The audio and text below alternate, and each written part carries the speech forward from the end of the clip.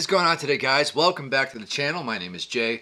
Uh, thanks for stopping by and checking me out. So today I thought we'd take a closer look at the Otto Audio 1111 or the 2222 or the I don't know what it's called. Here's the name up on the screen. How do you pronounce it? You tell me. I'm just going to stick with 1111 because that seems simple enough. So this amplifier, if you're not familiar with it already, has crushing distortion tones, more saturation, more gain than I've ever heard in any other amplifier sim out there on the market uh, to date. So you're not having deja vu. I did already review this amp a few weeks ago. However, I had some issues with the audio quality in that video. Uh, apparently it wasn't recognizing or registering the changes I was making to the amp in real time on the screen, so we're going to do it again. And that's okay because you know what? This amplifier deserves a second look. I think it's not as well known because it's from a new company, but the developers that created it, I think they really hit gold here with this one because this thing is very, very unique compared to every, everything else that's out there on the market right now. It um, offers, like I said, a ton of gain um, and so many different options. So let's take a look at the user interface now, put it up on the screen, and you can see uh, it's a clean look. It's an I love this UI. It looks really cool. Um, it's got that dark, evil look to it, pretty sinister. And at first glance, it seems like a very basic amplifier. There's not much to it, right? But let's take a deeper dive because there's a lot of hidden features. All right, so up on the screen here, you can see you've got obviously your gain, your preamp gain, bass, mid, treble, master volume, presence, and depth. Uh, seems simple enough, but again, there's a lot of features hidden on the inside, so let's get under the hood and check this thing out. This icon over here, if you click on this little circular icon, it pulls up a list of nine different impedance curves. Uh, I think these essentially are like emulations of different speaker cabinet ohm impedances, I guess. I don't know. But uh, anyways, if you cycle through them, uh, the first one is a very scooped sound, so the mids are really cut out completely. And as you work your way down the list, the mids become more and more pronounced. So that's what you get there. Uh, down here in the left-hand corner is the uh, bank of presets that comes preloaded and there are dozens and dozens and dozens and dozens of different presets. So definitely something in there to get you started. I'm sure you're gonna find something you like. This next drop-down menu, I don't really know how to categorize this, but uh, it further enhances the tone and, and, you know, these kind of sound like IRs, but I think they're not exactly IRs. I don't know what they are. You know, you can use any one of these in combination with any of the presets. So basically your combination are pretty much endless. Um, and then over here on the right hand side, let's go up here to the OA, Otto Audio. Click on this icon here and you get the bank of preloaded IRs, of which there are 22. Uh, they all sound really good and they're all really different from one another. So, I mean, again, there's something in here for every taste. Uh, they really sound cool. And, you know, if you don't like any of them for some reason, I don't know why you wouldn't, but if you didn't, you can uh, select to turn off the IR and load your own IRs in your DAW and uh, go to town with that. So down here, this is a very special feature.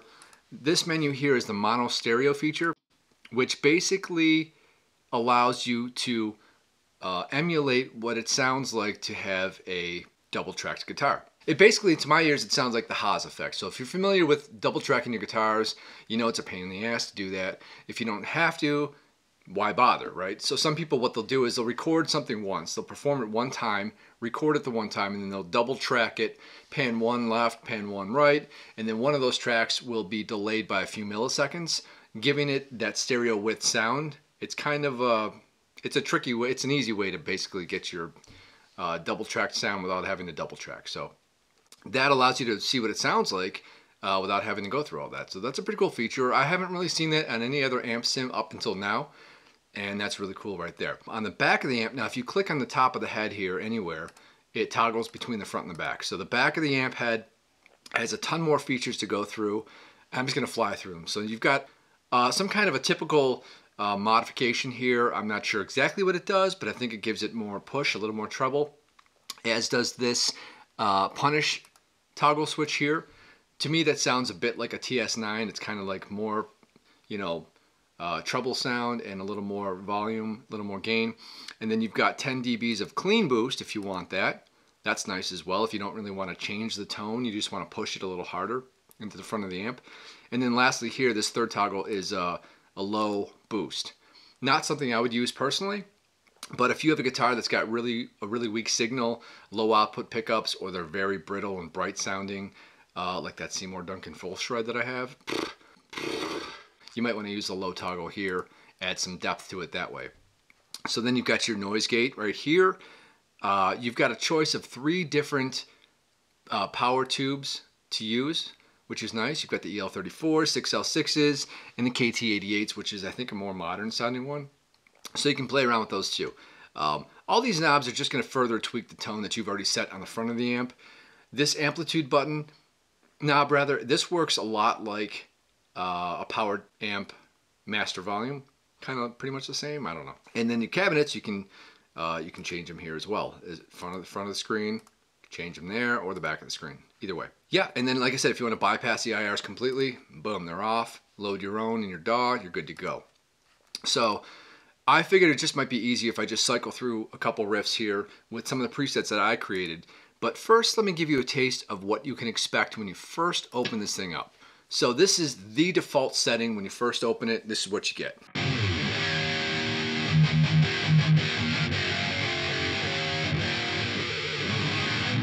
It sounds pretty cool. That's a good launching off point. I like that a lot. And it does have the mono stereo effect engaged on that. So if we want to go ahead and deselect that, turn it off, here's what that same uh, amp sounds like with that and just mono.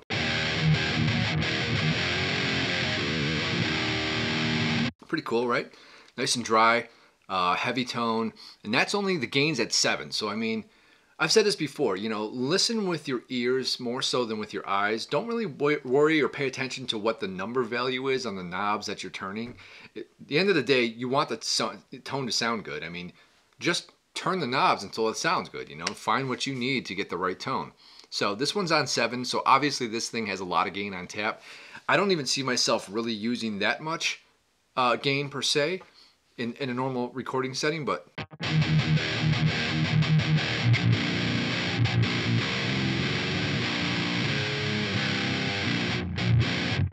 You might want it. Who knows? It's there if you need it. Definitely this thing goes to 11. And maybe that's why they named it the 1111. I don't know. Uh, so you know what? Let's just go to some of my presets that I've come up with here and uh, see what they sound like. So this first one, it's kind of an inside joke. Every first preset that I make and every new amp sim that I get, I call Gator Done. Why? I don't know. It's kind of stupid, but that's what I do. So Gator Done.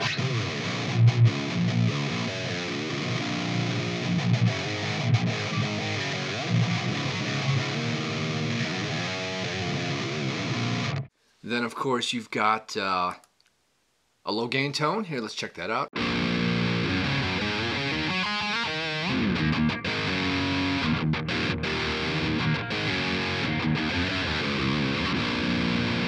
So this thing can go low gain, yeah. You're not really going to get Stevie Ray Vaughan out of this. You're not going to get Andy Timmons out of this amp, you know, that, that kind of a tone. But you can certainly dial down the gain if you want to, you know, for whatever reason. Why would you? Because that's not really what this amp is meant for. But you can do it if you want to, so it's there. Um, this one's a little bit heavier. Let's check this out.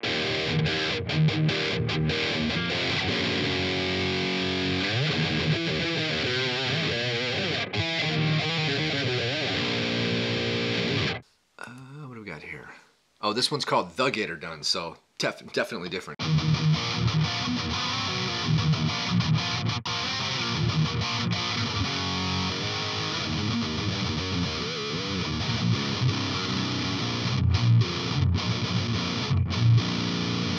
Number three.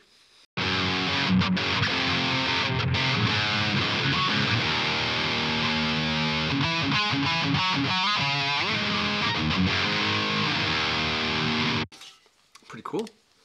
Uh, seven string bliss. Let's see what we got. This is the one I use for the opening track, by the way.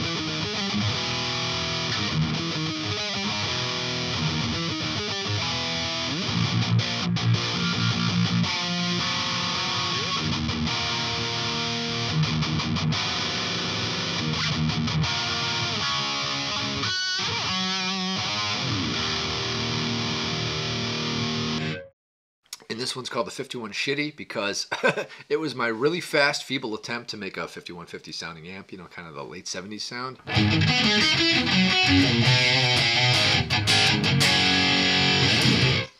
But yeah, that one I've got the mono stereo engaged, and it sounds really cool though. I mean, it's definitely a cool effect. You know, it's it's a little gimmicky, but.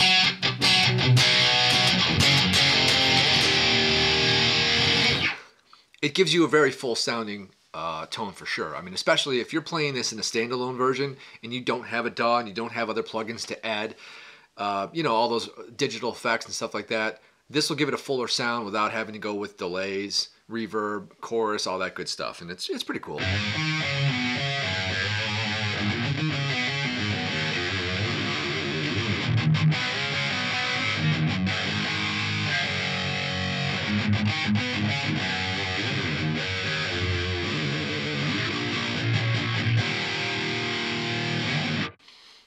So this thing is a lot of fun, man. I gotta say. Uh, and they do have a two-week trial, so free trial. Check it out. You're gonna like it. You know, you're gonna want to get it. So see what it's worth, man. Check it out. Play around with it. And I think the developers of this amp basically created this thing for the tone tweaker, the tone chaser, you know, the knob turner, the person who wants to just kind of experiment with your sound and see what you can come up with Maybe you have a tone in your head already that you're trying to get. You can't get it with another amp.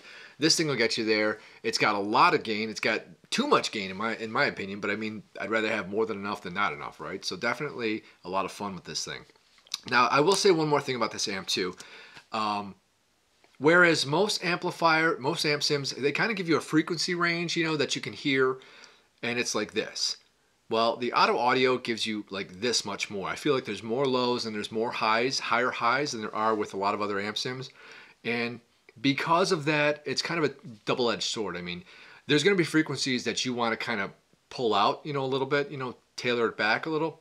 But on the other hand, it gives you just a larger palette to experiment with. So uh, what I did here for the opening track is all I did was I threw on the um, a little low pass and high pass, and that's it. I mean, nothing else as you can see here. It just kind of dropped out some of those really low and really high frequencies, so it wasn't too fizzy or too thumpy and garbled sounding.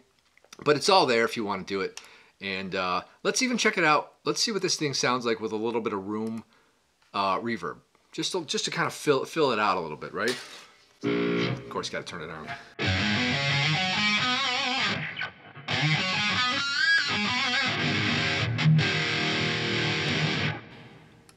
Throw on something a little heavier here. There it is.